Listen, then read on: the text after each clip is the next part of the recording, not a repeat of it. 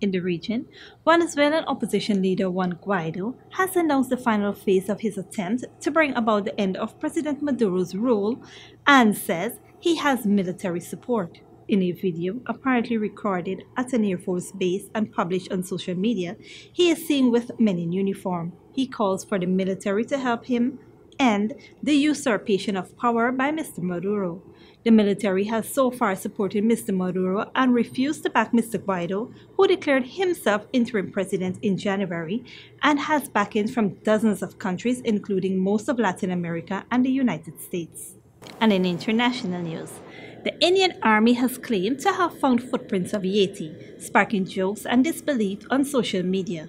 The Army tweeted to its nearly 6 million followers on Monday that it had discovered mysterious footprints of mythical beast Yeti at the Makalu base camp in the Himalayas.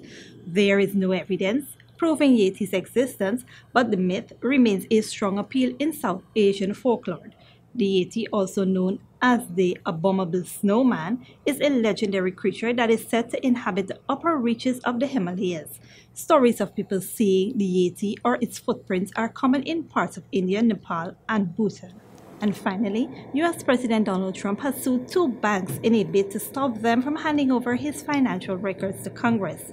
The lawsuit against Deutsche Bank and Capital One were filed after Democrat led committees issued subpoenas for information on his finances. His three eldest children and the Trump Organization joined the lawsuit, which argues there are no legitimate grounds for investigating his business affairs. Leading Democrats said they would not be deterred by the blocking attempt.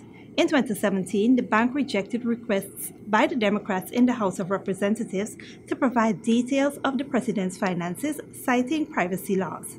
Headline News, Bibi Bacchus.